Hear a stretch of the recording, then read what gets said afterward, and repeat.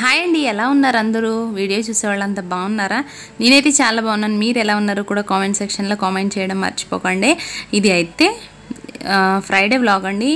ఈ వ్లాగ్ నేను ఎప్పటి నుంచి స్టార్ట్ చేశానంటే ఆఫ్టర్ బ్రేక్ఫాస్ట్ నుంచి అయితే ఈ వ్లాగ్ అనేది కంటిన్యూ చేశాను. అప్పటి నుంచి తీయేసాను అయితే ఈ వ్లాగ్ కనుక ప్లీజ్ నచ్చితే లైక్ చేయండి. కొత్త వాళ్ళు ఎవరైనా మన ఛానల్ చూస్తుంటే సబ్స్క్రైబ్ చేసుకుని పక్కనే ఉన్న బెల్ని కూడా యాక్టివేట్ చేసుకోండి. ఇలా చేసుకుంటే నేను పెట్టే ప్రతి వీడియో నోటిఫికేషన్ అనేది మీకు వస్తుంది. Thank you thank you for watching picture అయితే ఇలా ఉంది. ఫస్ట్ అయితే నేను రైస్ అయితే పెట్టేసుకున్నాను. రైస్ కంప్లీట్ అయిపోయింది. నెక్స్ట్ కర్రీ చేయలేదు కదా. కర్రీ కోసం అయితే నేను ఏంటి ఆమ్లెట్తో కర్రీ ఆమ్లెట్ వేసి తర్వాత కర్రీ చేయాలనుకుంటున్నాను. చూసేయండి ఓకేనా? థ్యాంక్ యూ నేనైతే మార్నింగ్ బ్రేక్ఫాస్ట్ అయిపోయింది. బ్రేక్ఫాస్ట్ అయితే నేను ఇడ్లీ వేశాను. ఇది అయిపోయిన తర్వాత ఇంకా లంచ్కే కదా ప్రిపేర్ చేసుకోవాలి. ఇంకా దానికోసం అయితే నేను ఏం చేయాలి? ఇంట్లో ఎగ్స్ ఉన్నాయి. డైలీ ఎగ్స్ చేస్తూ ఎగ్ పొరటా చేయడం లేదా ఎగ్ ఫ్రై చేయడం లేదా ఎగ్ రైస్ అన్న ఏదో ఒకటి చేస్తున్నాను. అయితే ఈసారి ఎగ్ ఆమ్లెట్తో కర్రీ చేద్దామని చెప్పేసి ఇంకా కొంతమందికి తెలుసో తెలీదో అని చెప్పి ఈ రెసిపీ అనేది మీకుతో షేర్ చేస్తున్నాను. ఓకే? అయితే ఏంటంటే ముందుగా నేను ఒక త్రీ ఎగ్స్ అనేవి తీసుకుని ఇలా బీట్ చేసుకోవాలి. నేను ఎందుకు గ్లాస్లో వేసుకున్నాను అని అనుమానం వస్తుంది ఎవరికైనా డౌట్ వస్తుంది. ఏంటంటే ఇలాగా గ్లాస్లో వేసుకుంటే మనకి బీట్ చేయడానికి అనేది చాలా బాగా ఈజీగా బీట్ అవుతుంది. తొందరగా కూడా అవుతుంది. అయితే అదే మనం గిన్నెలో వేసుకుని చేసుకుంటే అంత తొందరగా బీట్ అవ్వదు. సో దానికోసం నేనైతే ఎప్పుడు చేసినా ఇలా గ్లాస్లో వేసుకుంటాను. నెక్స్ట్ అయితే ఒక ప్యాన్ పెట్టేసి ఏమీ వేయలేదు. కొంచెం సాల్ట్ వేసాను అంతే దాంట్లో అయితే. మీకు ఒకవేళ ఉల్లిపాయ పచ్చిమిర్చి కావాలనుకున్నా కూడా వేసుకోవచ్చు. కొంచెం పసుపు కూడా వేసుకోవచ్చు. నేనైతే ఏమీ వేయలేదు. వేయకుండానే ఇలా చేశాను. అయితే కొంచెం ఆయిల్ వేసిన తర్వాత ఇది వేసేసుకుని పైన ఒక ఇలాంటిది ఏదైనా ప్లేట్ లాంటిది వేసేసి మూత పెట్టేసుకోవాలి. పెట్టుకున్న తర్వాత ఒక సైడ్ కా బాగా కాలిన తర్వాత ఇంకొక సైడ్ తిప్పుకుని అటువైపును కూడా కాల్చేసుకోవాలి. ఇష్టం ఉన్న వాళ్ళైతే ఆనియన్స్ పచ్చిమిర్చి కూడా వేసుకోవచ్చు. నేనైతే ఇలా ప్లెయిన్గానే చేసేసాను. నెక్స్ట్ అయితే ఇప్పుడు ఈలోపు ఆమ్లెట్ అవుతూ ఉంటుంది. ఆనియన్స్ అనేది కట్ చేసుకుంటున్నాను.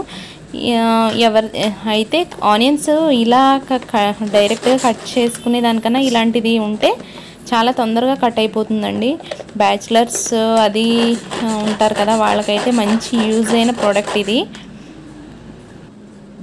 ఇది అయితే నేను అమెజాన్లో ఆర్డర్ చేశాను. ఇప్పుడు కాదు చాలా రోజులు చాలా మంత్స్ అయింది ఇది ఆర్డర్ చేసి.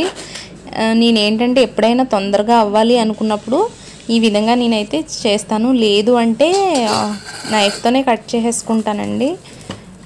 ఫాస్ట్గా అవ్వాలి. అప్- అంటే అర్జెంటుగా ఏమన్నా చేయాలి అని అనుకున్నప్పుడు ఇదైతే మంచిగా బాగా యూజ్ అవుతుంది. నాకైతే చూసారా? చాలా చిన్నగా కట్ అవుతుంది. అలాగే మనకి ఏంటంటే దీంట్లో క్యారెట్ కూడా వేసుకోవచ్చు. కొంచెం మరీ పెద్ద ముక్కల్లాగా వేయకూడదు కానీ చిన్న చిన్నగా కట్ చేసి వేసుకుంటే అది కూడా బాగానే చాప్ చేస్తుంది. టొమాటోస్ కూడా చాప్ చేసేసుకోవచ్చు. అన్నీ చాప్ చేయొచ్చు. పచ్చిమిర్చి. నెక్స్ట్ ఏంటనుకుంటున్నారు? దీంట్లో మంచిగా అయితే ఇది వంకాయలు కాల్చుతాం కదా. ఇంకా డైరెక్ట్గా మిక్సీ పట్టకుండా దీంట్లో వేసేసి పచ్చడిలాగా చేసుకోవచ్చు. అది కూడా బాగుంటుంది. మీరు ఇంకొకసారి ఎప్పుడైనా చేసినప్పుడు మీకు చూపిస్తాను. ఆమ్లెట్ తీసేసి పక్కన పెట్టుకున్నాం కదా. ఇప్పుడు కర్రీ కోసం నేనైతే ముందుగా చాప్ చేసి పెట్టుకున్న ఆనియన్స్ పచ్చిమిర్చి నెక్స్ట్ కరివేపాకు వేసుకుని బాగా ఫ్రై చేసుకోవాలి. కొంచెం సాల్ట్ అలాగే కొంచెం పసుపు అనేది వేసుకోవాలి. ఒకవేళ బాగా ఏంటంటే తొందరగా ఫ్రై అవ్వాలి ఆనియన్స్ అనుకున్నప్పుడు కొంచెం సాల్ట్ వేసుకుని ఫ్రై చేసుకుంటేనే బాగా ఫ్రై అవుతాయి. తర్వాత ఏంటంటే ఇప్పుడు కొంచెం బాగా ఫ్రై అయిన తర్వాత వేసుకోవాలి అని అనుకుంటే కొంచెం అల్లం వెల్లుల్లి పేస్ట్ అనేది యాడ్ చేసుకోవచ్చు. నేనైతే ఏమీ యాడ్ చేయలేదు. నేను ఏ కర్రీస్లో కూడా ఎక్కువ అనేది అల్లం వెల్లుల్లి పేస్ట్ అనేది యాడ్ చేయను. రేర్ ఎప్పుడో ఏదన్నా స్పెషల్గా చేశాను అంటేనే అల్లం వెల్లుల్లి పేస్ట్ అనేది యాడ్ చేస్తాను. లేదంటే నార్మల్గానే కుక్ చేసేస్తాను. అయితే అలాగే ఒక పెద్ద సైజు ఉన్న రెండు టమాటాలు అంటే గ్రేవీ కావాలి కదా దానికోసం రెండు టమాటాలు కూడా కట్ చేసేసి ఆనియన్స్ బాగా ఫ్రై అయిన తర్వాత టమాటోస్ కూడా వేసుకున్నాను.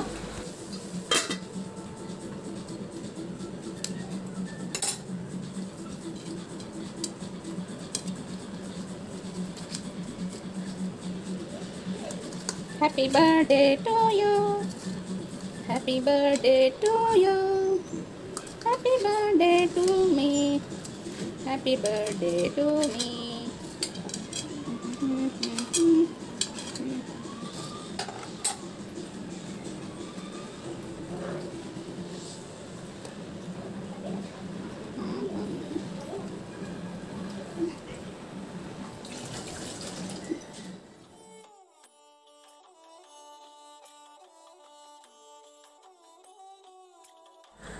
ఇక్కడైతే కేక్ కటింగ్ కూడా అయిపోయింది.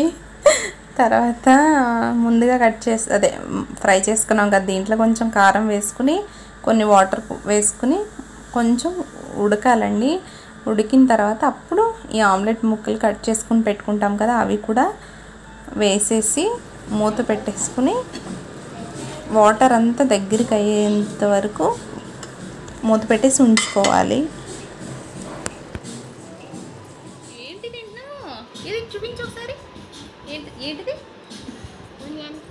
ఇంత ఉల్లిపాయ తినేస్తావా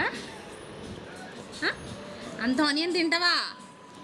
చెప్పు అంత ఆనియన్ తినేస్తావా చిచ్చి చిచ్చి బాబాయ్. ఏమో స్మెల్ వస్తాడు నీకు. ఆనియన్ స్మెల్ వస్తాడు హాయ్ చెప్పు. హాయ్.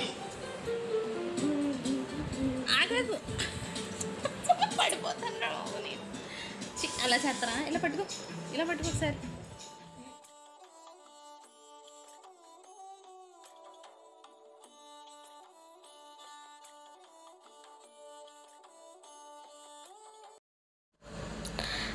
మధ్యాహ్నం అయితే లంచ్ అయిపోయింది అంతా అయిపోయింది భోజనం అది చేసుకుని మొత్తం క్లీనింగ్ అంతా అయిపోయింది. తర్వాత ఏంటంటే ప్రణీత్ పడుకున్నాడు. నాకైతే ఇంకా నేను డైలీ ఆఫ్టర్నూన్ కొంతసేపు అన్న పడుకుంటాను కానీ నాకు నిద్ర రాలేదు.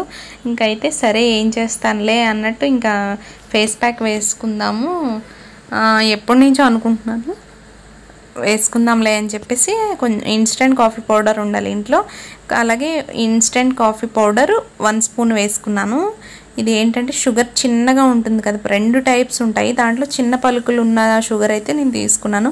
పెద్ద పలుకులు ఉన్నదంటే కొంచెం ఒకసారి గ్రైండర్కి సారీ మిక్సీ చిన్నగా ఒకసారి ఇలా తిప్పేసి అది వేసుకోవాలి. ఎందుకంటే బాగా పెద్దవి ఉంటే ఫేస్కి అప్లై చేసుకున్నప్పుడు బాగా ఇప్ కొంచెం పెయిన్ వస్తుంది కదా ఇది చిన్నది కాబట్టి పర్లేదు. అలాగే కొంచెం హనీ వన్ స్పూన్ హనీ అలాగే వన్ స్పూన్ వాటర్ వేసుకుని బాగా ఈ కన్సిస్టెన్సీ వచ్చేటట్టు కలుపుకోవాలి.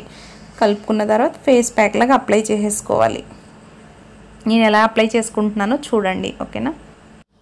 ఇది ఏంటంటే మనం ఫస్ట్ మొత్తం అంతా ఫేస్ ప్యాక్ లాగా అప్లై చేసేసుకోవాలి. మొత్తం ఫేస్కి అంతటికి నెక్స్ట్ నెక్ కూడా అప్లై చేసుకోవాలి.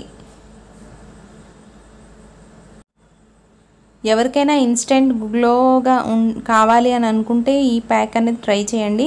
ఖచ్చితంగా రిజల్ట్ అనేది బాగుంటుంది. నేను చేశాను బాగుంది. దానికోసమే మీకైతే నేను షేర్ చేస్తున్నాను. ఓకేనా?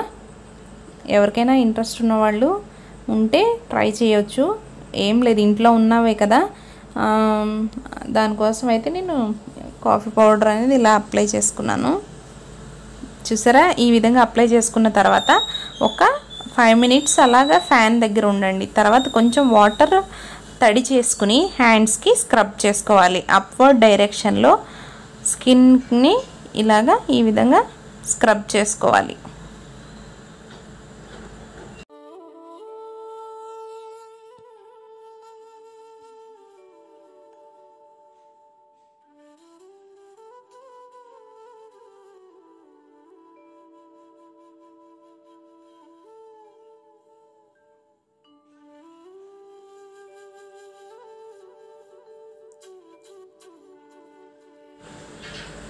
సేమ్ మళ్ళీ అదే ప్రాసెస్.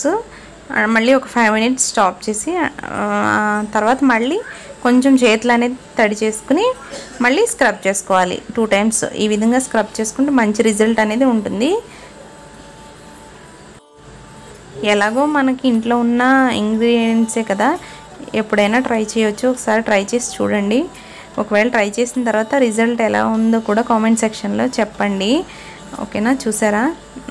తర్వాత ఇలా స్క్రబ్ చేసుకున్న తర్వాత నేనైతే ఇలా వాష్ చేసుకున్నాను. చల్లటి నీళ్ళు ఉంటాయి కదా ఆ వాటర్తో వాష్ చేసుకుంటే చూడండి ఫేస్ అనేది ఇన్స్టెంట్గా ఎంత గ్లో వచ్చిందో కదా చాలా బాగుంది. నెక్స్ట్ మెయిన్ ఏంటంటే గ్లోతో పాటు స్కిన్ అనేది చాలా స్మూత్గా కూడా ఉంది.